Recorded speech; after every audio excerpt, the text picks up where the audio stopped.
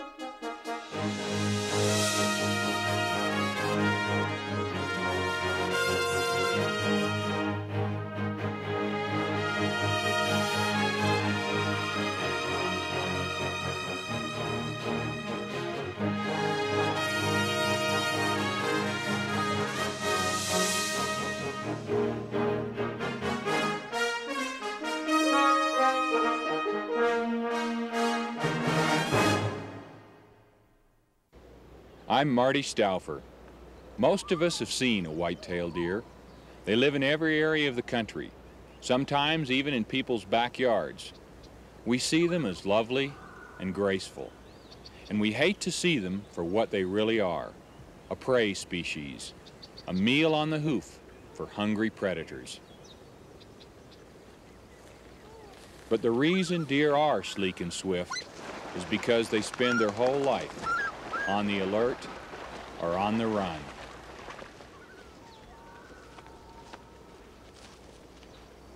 One of the deer's many predators is the wolf, a creature of legends, myths, and fairy tales. Most people think of it as a savage, natural-born killer, and they think of wolves and deer as mortal enemies. The truth is, although they each depend partially on instinct, both wolves and deer must learn their respective roles as predator and prey. When young, they learn vital survival skills through imitation and play. Their education starts at birth for the wolf and the whitetail.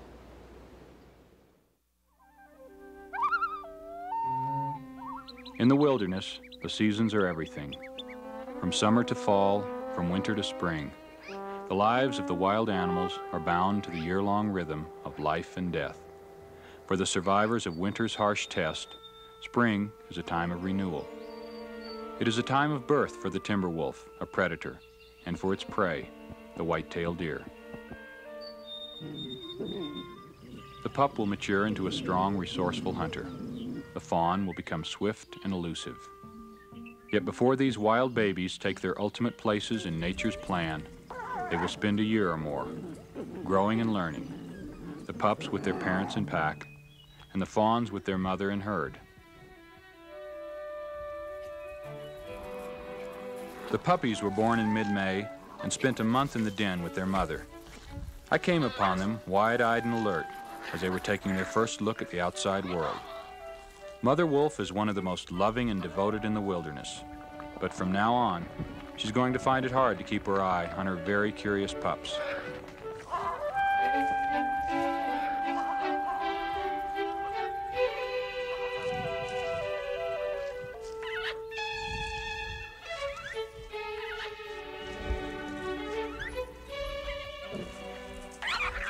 As they enter the outside world, they also enter a period of intense socialization, in which they will form lasting ties with each other and with their aunts and uncles, members of the extended family, or pack.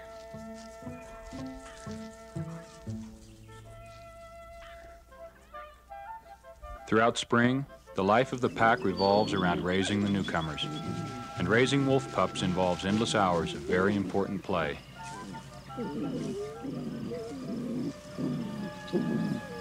Only one litter is born to the pack each spring, on that litter is lavished all the affection and attention of the adults, even though the babies were born to the alpha male and alpha female.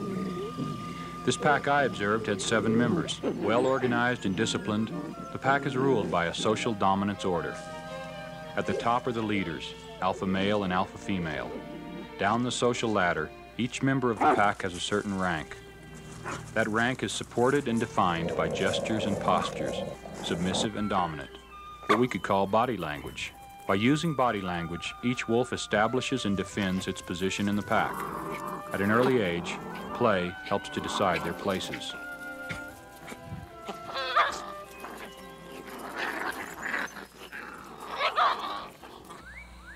Birth, the everyday miracle.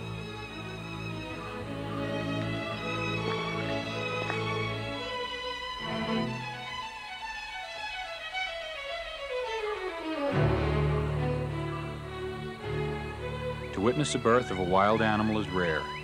I was very fortunate to find this white-tailed doe just as her time had come. Often a wild mother seeks shelter in a burrow or den, shielding herself from hungry predators. But the white-tailed doe gives birth when she is ready, regardless of where she is. The newborn tries out its wobbly legs with some encouragement from mother. Learning to stand immediately after birth is an important lesson for a hunted animal. The fawn will thrive on its mother's rich milk, three to four times higher in butterfat and protein than cow's milk. A doe's first birth is single, but after that, twins are the rule. Both fawns will have control over their unsteady legs in about an hour, but mainly, for the first few critical days, the fawns lie still and flat on the forest floor, safeguarded by their camouflage coats and relative lack of odor. When danger threatens, they freeze.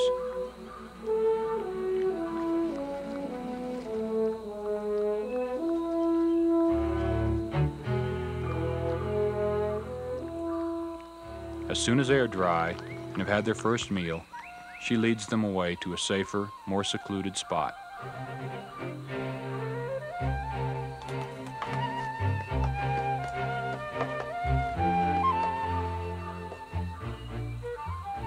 By late spring, childhood, with all its endeavors and hurdles, has begun. After a reassuring nudge from mother, the youngster tries again. The rocks are a good obstacle course for the fawn and although it can now outrun a human, more practice is needed before it can escape a wolf.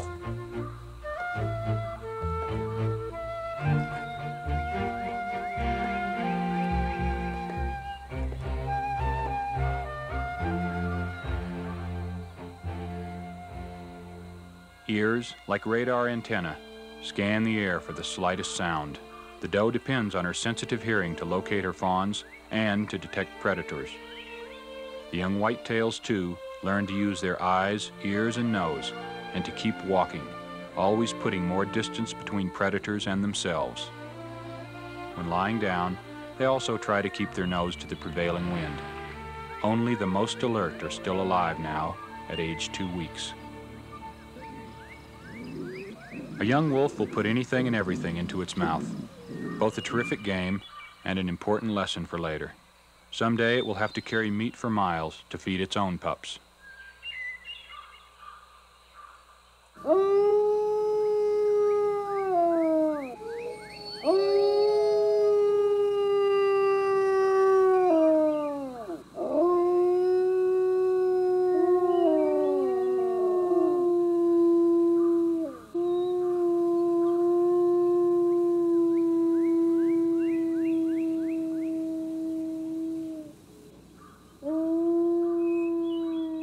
Its main purpose is to assemble the widely scattered pack for the hunt.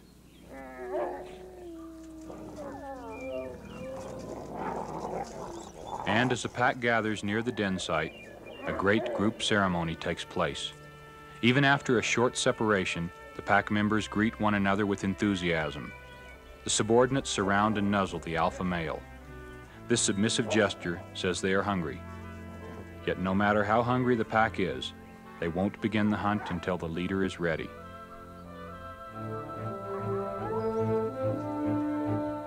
The pups are too young to join, except in spirit.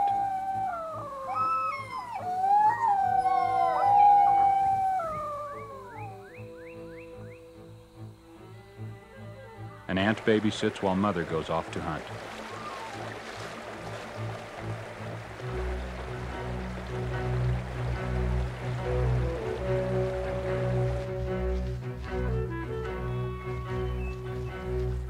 Deer are in the area. The wolves are excited and expectant as they try to catch scent of the prey.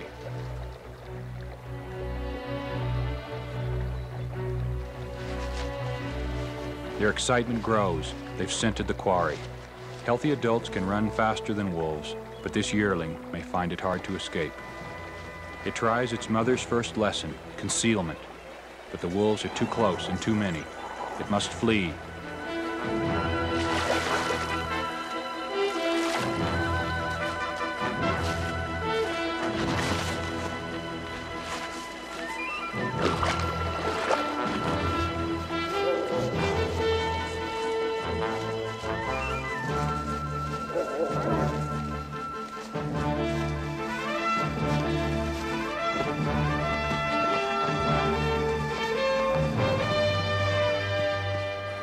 Yearling was able to escape. About 10 deer get away for every one that is caught.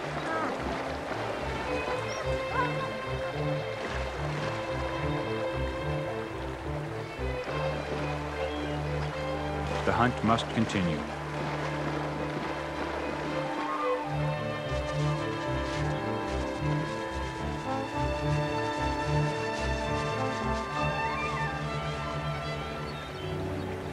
This deer tries to stand ground.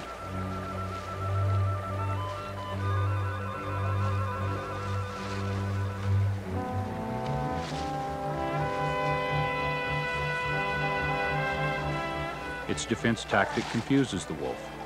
Wolves are cursorial, or running animals, and need a moving target.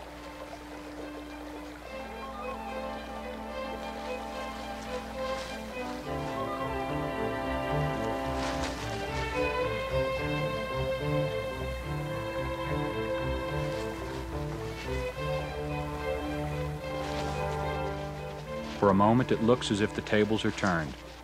But as the pack closes in, the deer must change its defense plan. Again, running seems to be the only solution.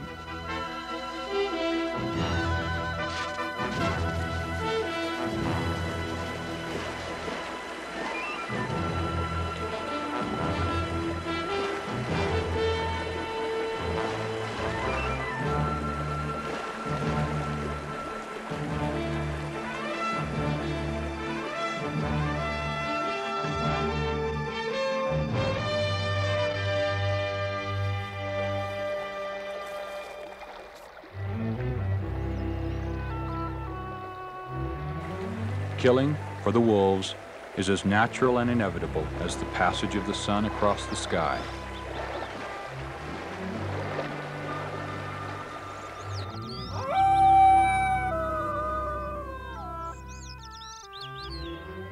Mother has brought back meat in her stomach and now regurgitates it for their first taste of solid food. The purpose of regurgitation? It allows an animal to travel far, for the wolves as many as 15 to 20 miles in a single hunt and bring back fresh food for the young. Nearly every part of the whitetail is used. Its skin and bones make entertaining and educational toys. By playing with all parts of the deer, the pups become familiar with the smell, taste, and feel of future prey.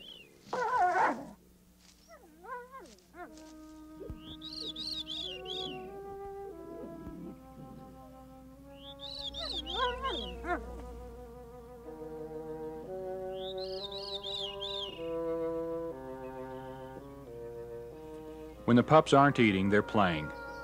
If lucky, they may catch a mouse, but wolves are not born killers. Instead, they are born with certain behavior patterns, running, jumping, stalking, that allow them, through observation and experience, to learn to survive.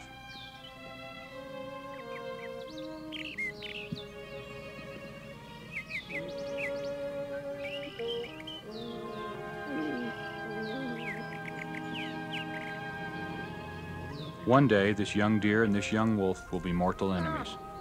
But for the moment, both youngsters are still innocent and curious, unschooled in the roles of predator and prey. Because it is a predator, the pup is naturally more playful than the deer. Wolves must search for their elusive meals, so they never stop investigating and exploring. The fawn is also inquisitive, but in a more contained way.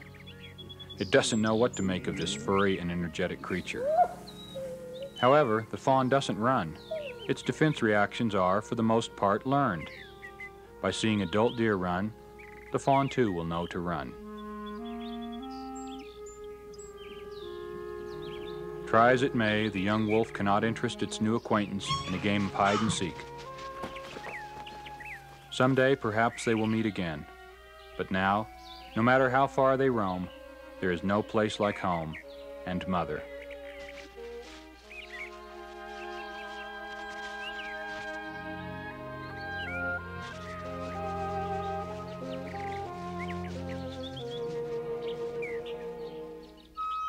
Rest of the summer, the wild babies will run and play, venturing further and further from their homes and parents. They will discover the ways of the wilderness and master vital survival skills. And next winter, the young wolves and the young deer will be ready to take their ultimate places in nature's plan.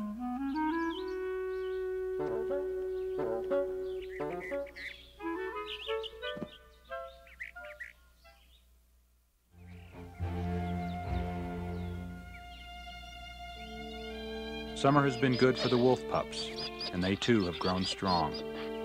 Perhaps by looking at the social structure of the wolf pack, we can find some insight into our behavior. Because 10,000 years ago, we were also group hunters. In fact, some anthropologists believe the social life of wolves to be identical to the life of early humans. There is a dominance order, in which commands are given and tasks carried out. Different generations of the same family live together. Many individuals cooperate in the hunting of large prey, and, for a prolonged period, the young are dependent on adults to teach them the laws of their society.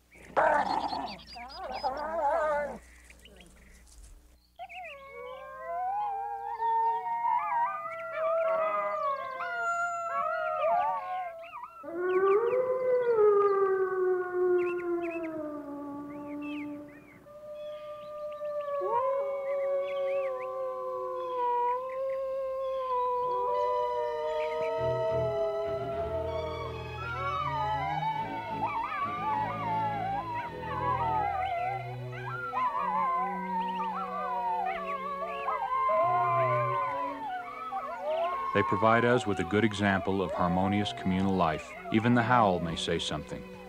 Electroanalysis has shown it to be similar to the human voice. Often the wolves raise their voices in unison for no other apparent reason than sheer joy. The rally call is a spontaneous expression of good feeling. The howling and greeting ceremony now includes the pups. They have found their places in the pack's social order and act accordingly, with displays of dominance and submission. Bonds between all members of the pack are firm. These lifetime bonds are severed when a human kills a wolf. And if the leader is killed, a state of chaos and confusion results. It may take the rest of the pack several years to recover.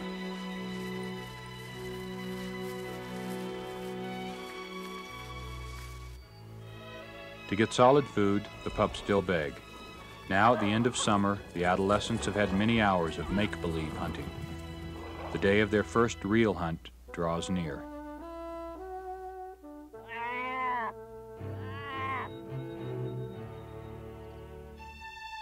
The fawn is curious about the strange growths on the buck's head. He's in velvet. Velvet is a kind of modified skin, a nourishing tissue that feeds and protects the growing antlers. When new, antlers are one of the fastest growing forms of animal tissue known.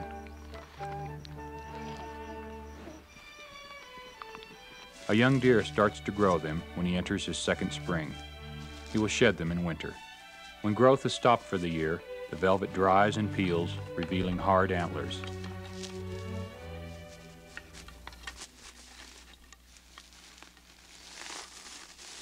Right before mating season, the male's blood runs hot. Even the smaller spike buck feels the instinctual call and challenges an older buck to fight.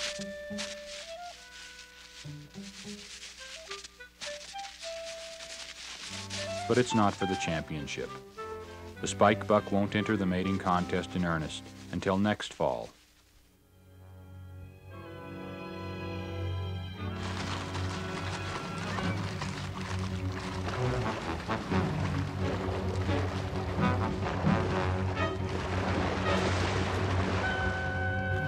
Male and female whitetail group together for the autumn mating season. The bucks are in their prime, coats sleek, eyes clear, necks swollen, antlers polished and shiny, and are very attractive to the female's heavy musk odor.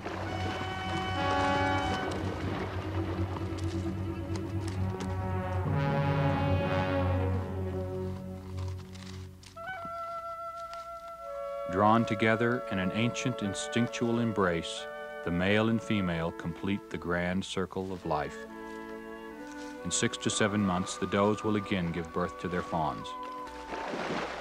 With the mating season over, each animal begins its preparation for the harshest test of all, winter. It is the time when the drama of predator and prey is made vivid. The hungry and the hunted both play out their roles on the stark, snow-swept stage. For all, food is scarce.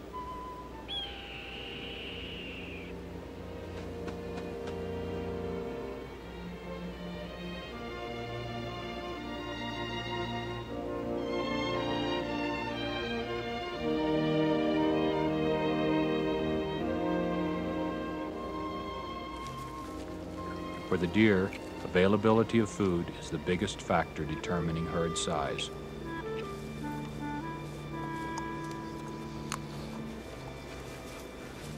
The wolves adjust to the number of deer. The young, although not yet full grown, now look like adults. All have thick winter coats underlined with cold-proof wool.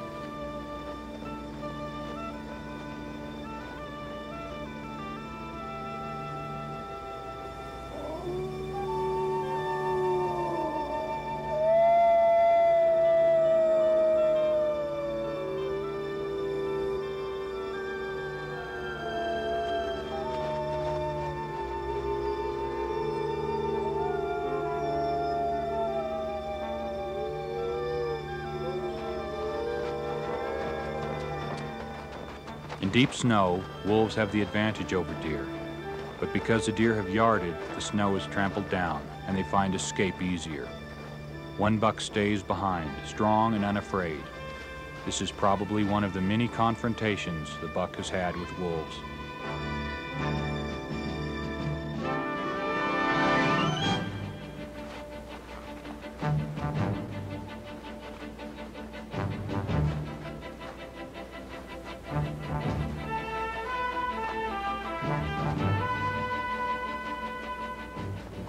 Deer, each day is a matter of how to eat without being eaten.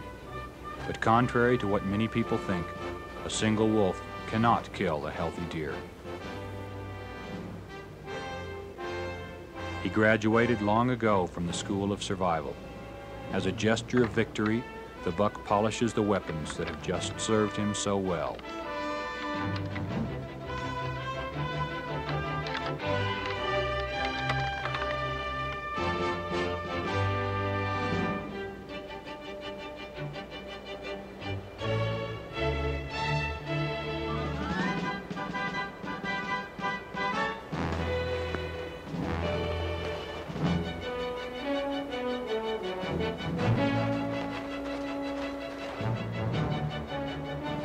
Of the pack, including the juveniles, reaches the deer yard and fans out in different directions.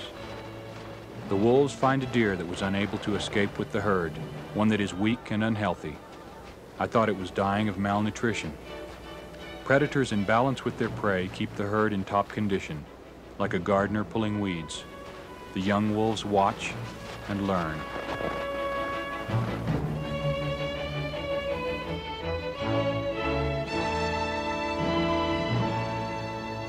The deer, young and old, also witness the scene. The stamped forefoot, a warning signal, comes too late for the sick one.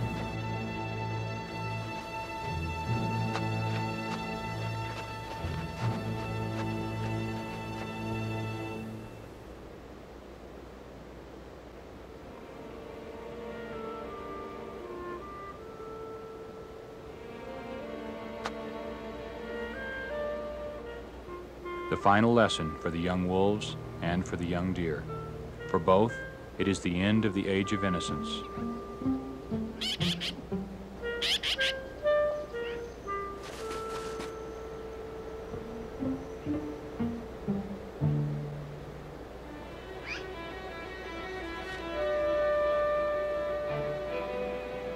It's a familiar smell, first introduced months ago back at the den.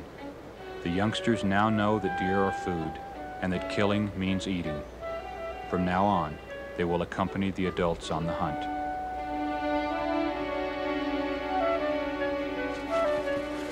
The wolf drags the carcass to hide it in a safe, temporary spot. People finding wolf-killed carcasses often think that wolves are wanton killers. In truth, the wolf has hidden the carcass until it can gather the pack to come and feed.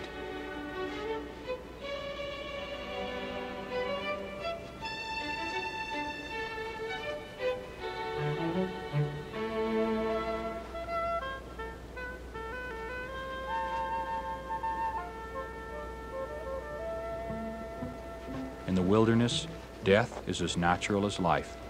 Unlike humans, animals are not burdened with the knowledge that they too will someday die. The wolf and the whitetail, both are halves of one whole. The wolves, by killing the weak and diseased, allow the strong and healthy to prosper. The deer feed the wolves, and the wolves keep the deer strong. And as long as there are wolves in whitetail, as long as their babies can grow to take their ultimate places in nature's plan, the primitive struggle will never end.